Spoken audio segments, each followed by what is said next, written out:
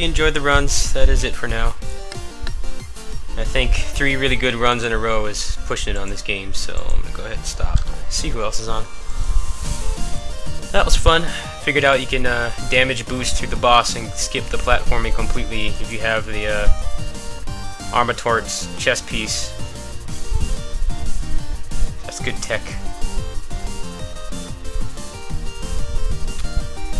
Ah, Wesker's playing. You guys can go watch him. I'll be back uh, probably tomorrow. Maybe even later tonight. Peace.